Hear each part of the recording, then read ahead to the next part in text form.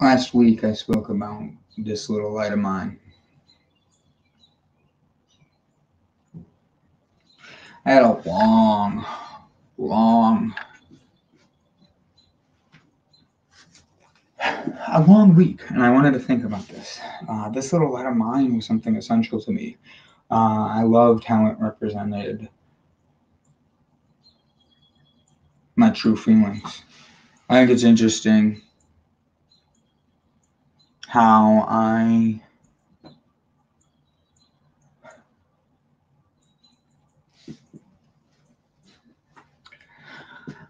I literally do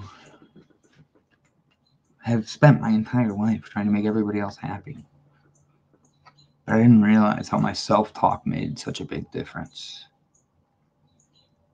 Didn't realize how much the words I chose on certain things made such a huge difference you stand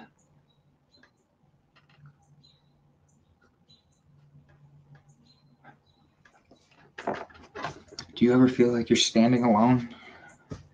You ever feel like everybody around you is just completely opposite of you? You ever feel like no matter what you do and how you're doing, you just feel alone? You feel scared? Thing is, we don't realize that that time alone is essential. That pain is meant to be lessons.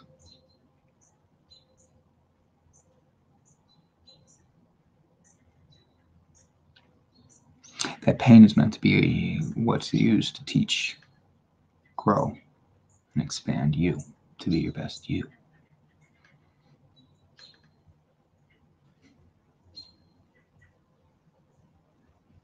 Sometimes stepping out and finding your light is painful. Sometimes knowing who you are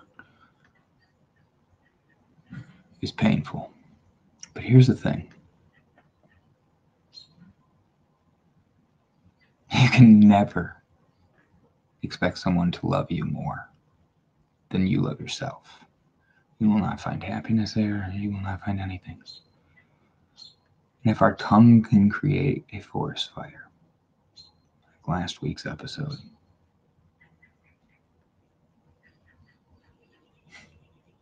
then why do we spend so much time talking positively, but not actually following through on our actions? Have you ever felt like that? You'd be around somebody and they're false positive like a bad pregnancy test. It scares both people very bad. And the truth is, false positive isn't never something that is good. A false positive, in many ways, means usually something stressed you out for no reason. So, for today's Mental Health Monday, I say stop the negative self talk. It's so hard. It really is. But here's the best part of it that negative self talk, that negative opinion you put in yourself, that's literally how everybody else is hearing you talk about yourself. So why would they think any differently of you?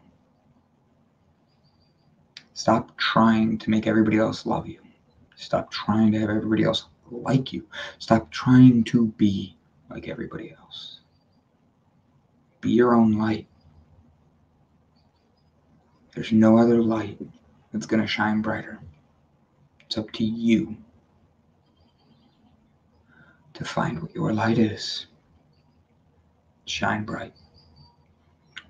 A spark can create a forest fire. But if we all find our lights, this world just gets a lot brighter. Thanks, guys. This is Brandon, Beer Bald, Bipolar, and the Boss. Thank you guys for tuning in. Have a great one.